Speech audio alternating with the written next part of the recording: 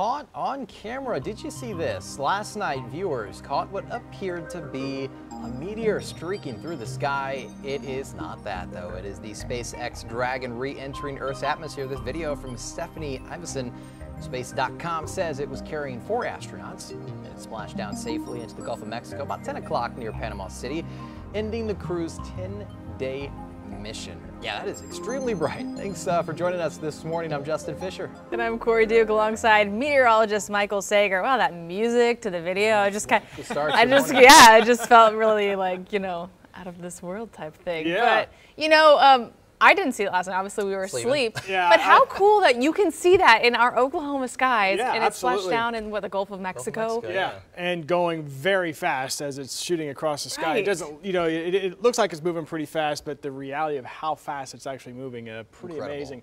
Uh, but yeah, what a sight last night. I wish I would have seen it, uh, but I was asleep last night at that Well, time. SpaceX. There's going to be plenty of other opportunities. They're setting Exactly. something up every two days.